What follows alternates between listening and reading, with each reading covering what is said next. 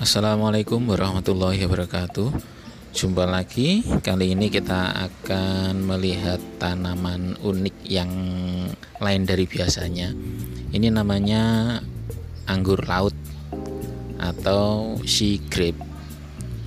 Tanaman anggur laut adalah salah satu jenis tanaman yang bisa tumbuh besar dan biasanya hidupnya di pantai atau di pinggir laut. Tapi tanaman ini juga bisa dibudidayakan dan ditanam di tanah pada umumnya di sawah atau dibuat sebagai tanaman penghias taman.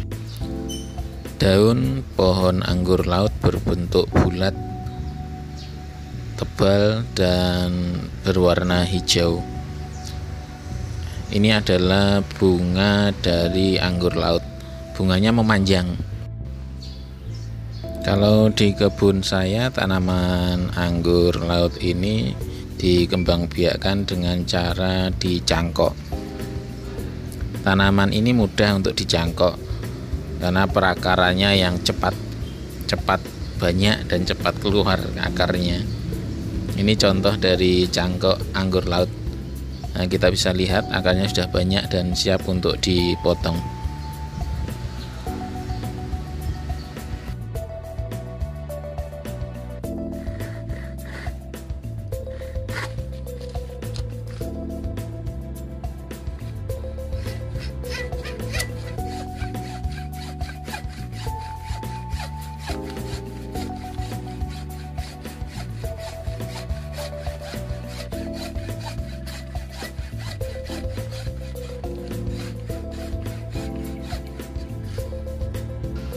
setelah dipotong hasil cangkokan tidak langsung ditanam tapi didiamkan dulu disimpan kurang lebih selama satu minggu di tempat yang teduh.